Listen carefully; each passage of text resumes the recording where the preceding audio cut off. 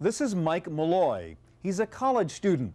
In fact, he's attending class right now. He's an undergraduate student going for his BA degree at the University of Phoenix. But right now he's in San Francisco. Actually, he's at work. But he's also going to class, getting updates from his professors, exchanging information with his fellow classmates, and doing it all online. Computers are changing the face of education in many, many ways. Today, we'll take a look at the computer as a learning tool on this edition of the Computer Chronicles.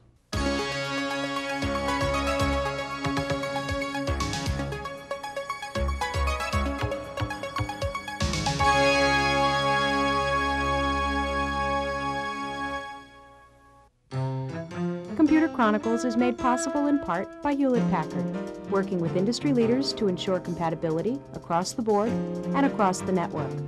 HP PCs, you're looking at partnership in a whole new light.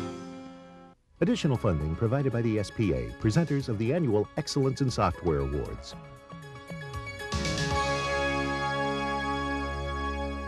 Hi, and welcome to the Computer Chronicles. I'm Stewart Cheifet. With me today is Kenyon Scott, learning and multimedia specialist with Apple Computer. Kenyon, I've seen research that says that computers and multimedia actually help kids learn faster and better. Is that true, and why? In my experience, yes, Stewart, it's true. And here's a great example of that today. One reason is because they can manipulate information in a very interactive way. We know that curiosity is a great catalyst for learning. So today, for example, we have a QuickTime movie of a carnival ride. And the question might be posed, well, where do you spend most of your time in this ride? At the top of the ride uh -huh. or the bottom of the ride? Now, without technology, I could not have easily gathered data this way, but if I want to see how high I am at this point, I simply click the point, drag down to the ground, and now that green line signifies my distance. I can rapidly gather the rest of the information by clicking repeat. So you can step through the video and actually pull data points down for each one of those frames. Precisely. And then what do you do with the data? Well, First of all, this reverses the whole time spent towards data gathering. It used to be data gathering was the most tedious and time-consuming aspect. Now mm -hmm. we mm-hmm. gather the data quickly and can now quickly look at it and say, really spend time on the analytical understanding part. Precisely. And so we can show it graphically. Here we'll take our graph um, and drag the height variable over here. So you can just grab the variables you want, your y-axis, your x-axis, uh -huh. etc. And then the, here we see presented graphically the uh -huh. same data. Now I can interact with this graph in such a way that takes me back to the original video. You touch a point on the graph and that shows you what's happening in the real world to represent that yes. point? Hmm. Now the way this would have done, say, before technology yeah. is we probably would, would have been presented with a table of data very dry data that you would have then. I remember that. Plot all the points, all the you know, points, get all the data, then draw the graph. Didn't have a whole lot of meaning and wasn't quite a, as a robust experience as this. I want to go back to school right now. All right, today we'll look at the computer as a teaching tool and show you four terrific new programs that can turn your PC into a classroom. There is so much interest in the educational benefits of computers these days that the San Jose School District recently decided to put together a trade show just for students and teachers to talk about educational computing. We showed up too. Anyone who attended the Electronic Learning Fair in San Jose, California, expecting to face the usual trade show hard sell, was in for a surprise. Instead of pushy salespeople and unruly crowds, the aisles were filled with excited children and parents struggling to keep up with them. The Learning Fair was presented by the San Jose Mercury News and featured 12 model classrooms divided by age group from preschool to high school. Keeping an eye on the classrooms were Learning Fair Elves, a group of students helping parents and kids with computer problems. And in fact, one group of visitors did have problems. Some adults ask. It's more adults than children because the children can figure out themselves and it's the adult when the adults ask um, how to use the software. The exhibit stands looked like extensions of the classrooms where kids could linger and learn. Vroombooks demonstrated Stradiwackius, the counting concert, in which animated musical instruments teach counting, reading, and spelling through 3D animations and games. The program contains an instrument factory with over 1,000 combinations and a parent's guide in four languages. Stradiwackius is available for around $30. HarperCollins Interactive showed its American Sign Language Dictionary on CD-ROM, a $70 program that teaches kids how to sign using live-action video. The dictionary accepts input in five written languages and offers slow motion and detailed views of hand movements. On the hardware side, KidTech introduced a kid-sized input device called My First Keyboard for $119. KidTech claims that even 18 month old babies will be able to use the keyboard, which features big, colorful keys arranged alphabetically.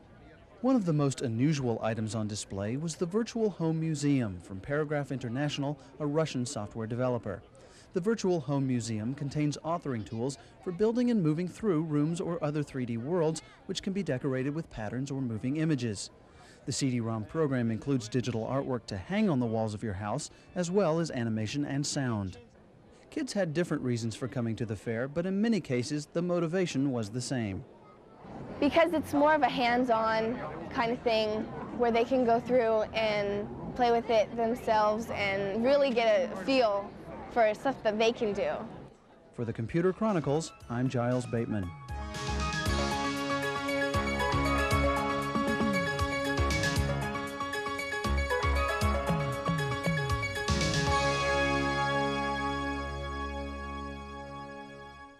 When you see a software program called Grammar Games, you figure this must be an oxymoron. How could you have fun learning about grammar? It also would seem like a difficult subject for a computer, but here to prove me wrong, presumably, is Faye Schwartz of Davidson and Associates.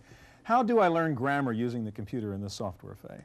Well, we hope that you learn it well, and we hmm. do hope that you have fun using it. In fact, that's one of the major things we think we can provide is fun and motivation for a topic that has been kind of tedious Yeah. and kind of neglected, frankly. So you've got four different games in here. Let's go through them all. We do, actually. We're in the rainforest, and we start with Jungle Gizmo.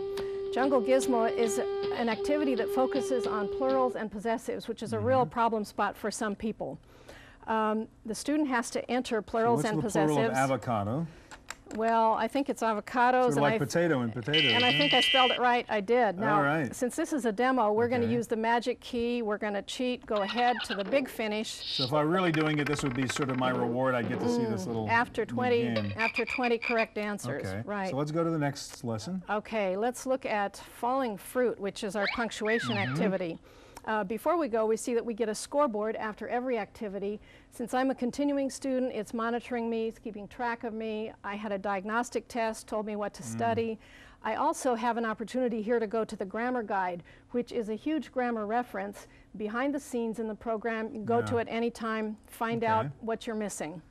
Uh, in this program, in this, in this activity, we have to find the correct punctuation for the end of this So sentence. I'm looking for a period there. We're looking for a period. So I've got to get this little toucan to catch a period coming down. we started the magic there's fruit falling. there, there's Faye. a period. Oh, missed but, There's but I, another period. I want to see what happens. Oh, there. When Okay, he, there's a period coming. when he, uh, yeah, All right. he ate the right one. He spit it into the sentence, and we're we're on our way.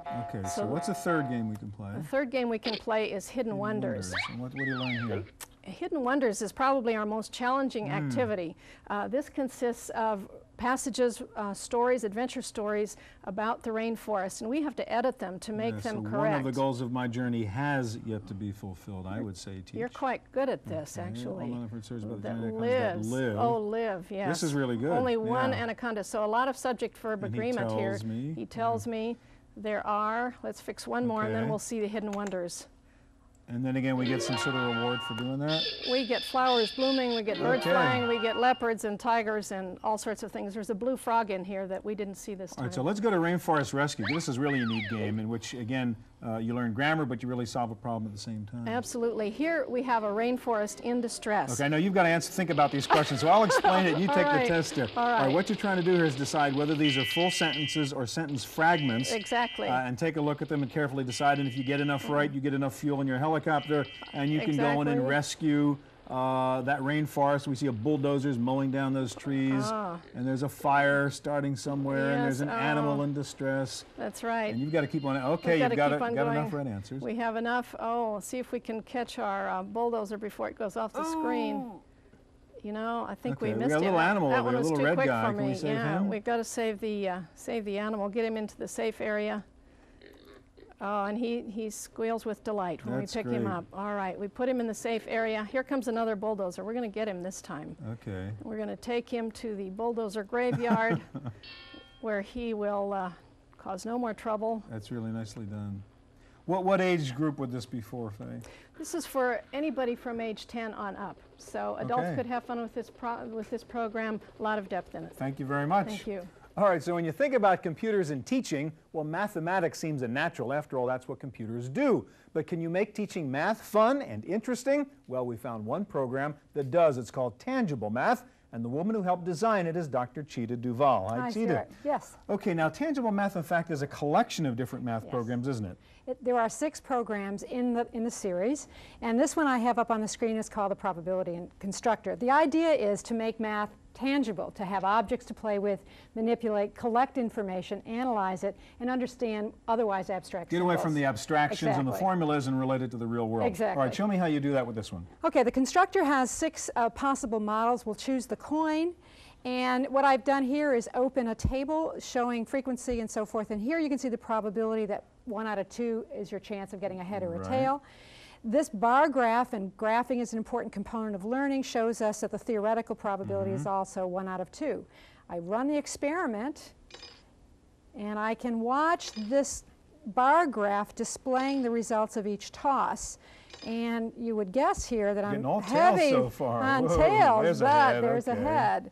Another head. And the graph is being updated after each coin. So this is really a little laboratory. We can do experiments and again see real-world consequences of mathematical Right. concepts like probability. And unlike real life, you can bias the coins, you can toss a thousand coins, and if we go over here to the demo of this Mm-hmm. product, we can pick up um, one of those instances where we've sort of canned The uh, outcomes for tossing presentation. one coin are heads or tails.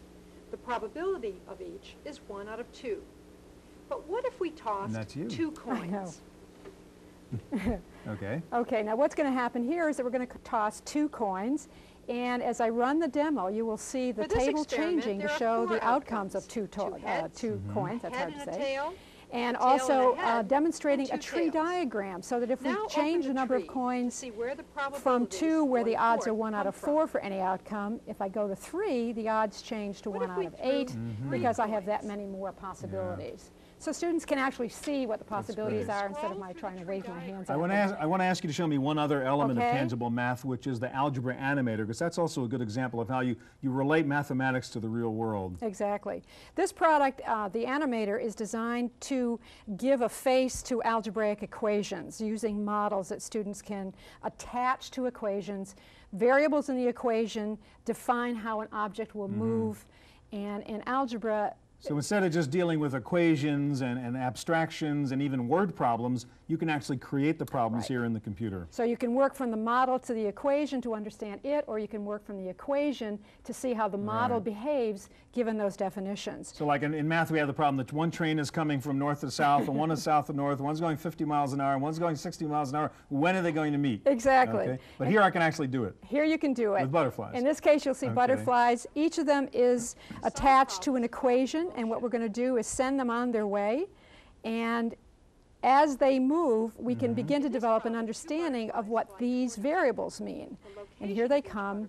We can trap their point of intersection, which is the point of solving equations. Mm-hmm. And in this particular um, experiment, then students can develop an understanding for what is motion and what are these equations useful for. That is really great. Yeah, it's really a lot of fun. And in this particular uh, experiment, you can even create your own uh, tangible math experiences. You- Study gravity and drop things from trees exactly, and all that kind of stuff. Exactly, and I think that's um, what we have here with the basketball, if we can get it to run here, and Mm-hmm. there it comes. We've oriented the picture differently by choosing the objects menu here. Choose a basketball, attach an equation to Let's it. The falling object will reflect uh-huh. the 100 f- feet above effect of ground. gravity, and there you have the it. That's great. Tangible math. Thank you so much. Thank you. Okay, what are computers good at? Keeping track of lots of data. What is a library full of? Lots of data. No surprise then that one of the really valuable uses of computers in education is in the library. And one of the leaders in using the technology is the San Mateo County Library System right here in Northern California. San Mateo County on the San Francisco Peninsula is giving its library patrons a chance to be their own librarians. Readers can search for a book across the county system, reserve it if it's checked out, and have the volume delivered to the closest branch within a day or two. The new electronic card catalog is called the Peninsula Libraries Automated Network, or PLANET, and it replaces more than just dog-eared paper cards. There's a lot of things that people like to do for themselves. Not only that they can do it and it saves money as far as the staff time, but they like to do it. So they like to have access to their own record. They like to look up things them, themselves. They like to print out what they are uh, looking up and, and save that information. They might use it later. So as many features as we could look at that would allow someone to do more things on their own and then save, in a sense, the librarian's time for us to help you with the things that we're trained to do and that we do very well. The difference between Planet and a paper card catalog is clear from the start. Along with traditional choices of author, title, and subject, readers can search by keywords and multiple indexes. Often, the author's last name and a partial title are enough to locate the work. Planet can perform an extensive subject search or limit its exploration by date or locality. The system accommodates foreign language titles, which can be combined with English subject headers. Librarians were concerned that the newly computerized card catalog might overwhelm their patrons, but the response was quite different. In fact, our staff had gathered a bunch of volunteers who were going to act as like library docents, helpers in the library. And we would be training them so they would help someone. Do you need some help using the new computer? Let us show you some of the aspects of it. After the first week of installation, our staff came back to me and said, I don't think we need our docent program. We have been walking the floor asking people to help them. We show them one or two things, and then they say, that's fine, you can go away now, I'll help myself. San Mateo plans to extend Planet to become part of the local internet hub, leaping over state and geographical boundaries. But for now, patrons are happy just to reserve a book in one branch, find it in another, and have it delivered to a third. For the Computer Chronicles, I'm Giles Bateman.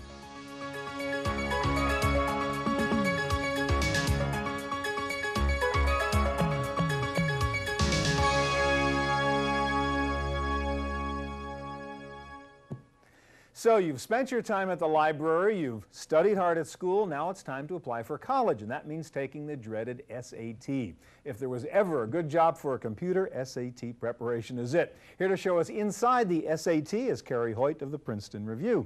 All right, now when you're taking the SAT, there's two things involved. One is your substantive verbal and math skills, but the other thing is really your test-taking skills, right? Do you teach both of those? Yes, we do. In our program, we, we teach both the math and the verbal, and also test-taking techniques and strategies. The Princeton Review is the largest SAT company, and we see over 30,000 students a year and help them out on the SATs. And I'll show you some strategies now. All right, so we'll go in the little strategies room. Mm-hmm. We're going to go into general Secrets strategies. of passing the SAT. Secrets of the SAT.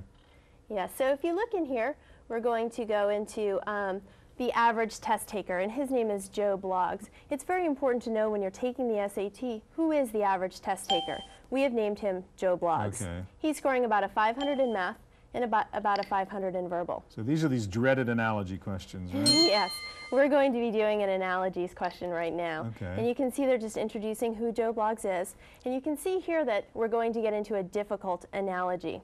And when we see Joe Bloggs, um, this is a difficult analogy, and he might not know what deport means. So deport is to country as? As. We have to find the same answer choice down here. Now Joe Bloggs, the average test taker, does not know what deport means. So what he does is he looks at country and he says, okay, I know what country means. What answer choice reminds me of country? And what's the answer choice to? Yeah. It's going to be nation. Good. So if we pick nation, such as the average test taker would, you will see that Joe Bloggs pops out. Joe Bloggs. And we don't want to be Joe That's the Bloggs. dumb We use answer, that as a right. mnemonic device to help our Okay. students. But let's look at the real answer, and that is going to be Expel is to expelled to school. school. And if we pick that, we have Yeah. that's the right answer choice. Okay? Okay.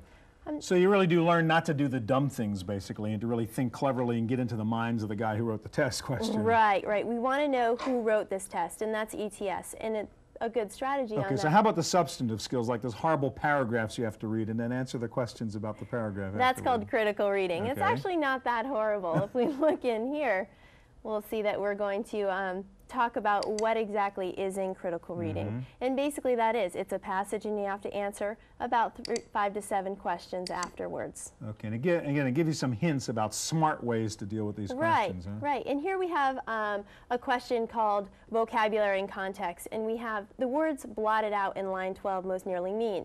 So what our job as a test taker is to go down to here and find that in this sentence. And we have the sun was blotted out entirely for 2 days within a 100 mile radius. What do you think blotted out would mean Mm-hmm. I would in say that obscured, C. obscured C? So if we pick that, You're All right, I got right. in. You're going to get into the best college. All right, now Okay? speaking of which, you have this, this counselor section in here in which I can get a sense of what scores do I really need, what my, what my goal should be on the SAT, depending on where I want to go, right? Exactly. If we go into the guidance counselor's room, you're going to see here that there's a lot more than just um, SAT test taking Mm-hmm. strengths and we um, test taking techniques and strategies. We have the counselor here. He might need some counseling himself. if we go into you versus the world, you're going to see that this is uh, the averages of the SAT of the schools. Okay, so these, Um, these are the typical scores or the, the, the mean or median Right, median these are scores? averages. So you could be a little bit below, you could be a little bit behind. Now I've put our scores in as a 480 in verbal and a 540 in math. All right, so suppose I wanted to go to Arizona State University, Arizona. State University. These are the average scores, so we could probably get into I get in with those State numbers because that's higher than their average. But suppose I want to go to Barnard, for example. Okay. They take men these days? I don't know. Let's say I want to go to Barnard. We're going to have to work a little bit harder to get Whoa, in there. So yeah. we are going to have to work on our SAT scores, um, but there's also, they're Yeah. looking at the GPA and Uh-huh. your extracurricular activities, other things. These are the averages, but we are going to have to work a little bit on our program for that. Okay, that's great. Inside the SAT. Thank you, Carrie. Thank you. Okay. Now, computers can do more than teach the three R's. They can teach the fun stuff too, like art and music. One of the neatest teaching programs we found in this category was the musical world of Professor Piccolo. Jim Hannon is vice president of Opcode International, the company that makes Professor Piccolo. And show us how this works, Jim. Well, what you see here is an interactive music town, and there are seven different buildings, and you can enter any building and learn a lot about music. Okay, suppose I went to Symphony Hall. What would I learn in there? Well, first of all, you hear the orchestra tuning up, and there are a variety of tools on the right-hand side for you to learn even more about the symphony. You can press the range button and see the range of different instruments in the mm-hmm. symphony. You can press the forms button, and here's the full Haydn Symphony number 88 in CD quality audio. We press on the second theme, and you can hear that. So I could actually listen to Haydn Symphony Number 88, and the program tells me what part of it is, whether a theme is being repeated. And that, Correct. That, that sort of theory stuff inside That's it. right, and you can look in the text window down here, and that's, That's explained. You could also go to the second theme and the recapitulation and hear it again, or go to the coda. So it, it shows you musical form. Uh-huh. There's also a history button, which shows you the history of the symphony orchestra. There's an overview button where you can interactively go over the symphony orchestra or the layout of the symphony orchestra, press the mouse, And hear the sound and hear the sound. those Or if we went to the snare drum, for example, you Mhm. could hear that. We can use the magnifying tool too to go over any instrument, press it, and now you see the instrument and hear a selection from it. So it's a great way to choose an instrument or, or learn more about it. Can one. we go to the rock club and see what I would learn about rock music in You the bet. program too? Sure thing. Now the buttons in the Rock Club are similar to what you just saw in the Symphony Hall. We have the same tools available to us. Mm-hmm. Now we can play a rock piece, and most recordings multi-track, so we could play individual tracks. Here's the synthesizer track. If we wanted to find out more about the synthesizer, we could press on the synthesizer and hear a musical selection featuring this synthesizer as well as a history of it, Yeah. a picture, the controls and displays. Can you see the structure of the music in the rock just the way you do in the symphonic music? Definitely. Let's go to that. And here we have a pop song Hmm. with different verses, choruses. So you hear the verse, and then you can go to the chorus section. Mm-hmm. So it's a full uh, rock piece. And you can hear how the chorus fades out at the end. And in that music school part, in, in the bottom right there in your sort of town, you actually can learn music theory and, and It's a full interactive music theory course, Uh-huh. 12 lessons, and uh, I'll show you what Okay. you can see there. There are 12 lessons, and it can keep track of up to 30 students' progress. Hmm. So you can learn about notation, pitch, intervals, scales. If we went to scales, you'll see the interactivity so it it. really is a full introduction to music course, really. That's that right. It's the equivalent of a full semester music theory Yeah. course. That's great. Love it. So- Okay, thank you, Jim. All right, that's our look at learning on a computer. Remember, you can learn more about us online by checking out the Computers on Television forum on CompuServe. The command is Go Chronicles. Thanks for joining us. I'm Stewart Cheifet. See you here next time on the Computer Chronicles. Computer Chronicles is made possible in part by Hewlett Packard, developing technology that lets you manage your PC from anywhere on the network, anywhere in the world. HP PCs, you're taking a close look at remote management. Additional funding provided by the SPA, presenters of the annual Excellence in Software Awards. Video cassette copies of this program are available. Computer Chronicles also publishes a companion newsletter containing details on products demonstrated and information on program topics. To order a video cassette or a newsletter, call 1 800 800 9520 or write Computer Chronicles. Please specify program subject for tapes. All orders include a free software program for auditing software use and information on the definitive guide to keeping your organization's software legal.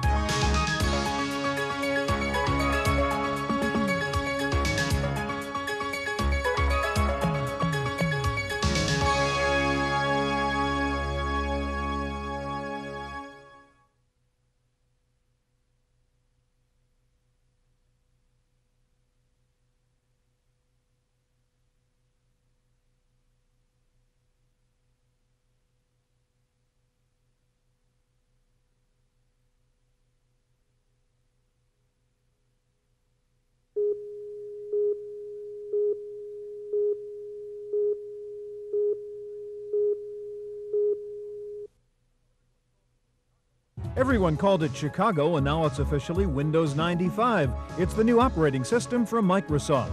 Multimedia in Windows 95 has never been easier. Through autoplay, all I have to do is take the CD-ROM that has an autoplay enabled application, put it in the CD-ROM, close it, and even a four-year-old can now use multimedia. A preview of the new Windows and the applications that take advantage of it on the next Computer Chronicles.